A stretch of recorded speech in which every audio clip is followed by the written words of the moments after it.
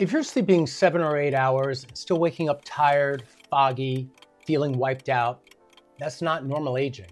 And it's not because you need more willpower or better supplements, it's because your body is waking up all night, even though you might not remember it. Most people think that sleep apnea is about stopping breathing, but the real issue is instability. Your nervous system doesn't trust your airway, so it keeps interrupting sleep to protect you. The interruptions are called microarousals. You don't fully wake up, but your brain pops out of a deep sleep again and again all night long. And deep sleep is where real recovery happens. No deep sleep, no restoration.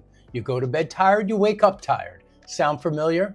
What's really happening here is that breathing has become unstable.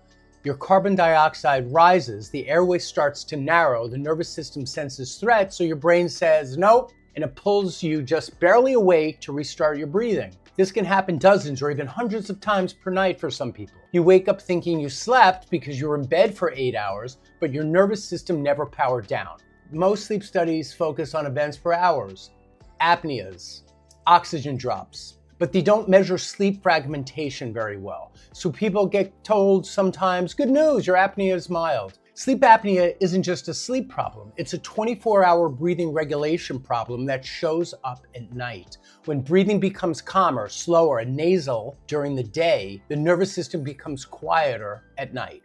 If this resonates, watch my free masterclass link below. I break down how daytime breathing patterns create nighttime sleep disruption and what to do about it. In the next video, I'll explain what actually happens right before an apnea or a snoring event. This is Apnea Unmasked and you're just getting started.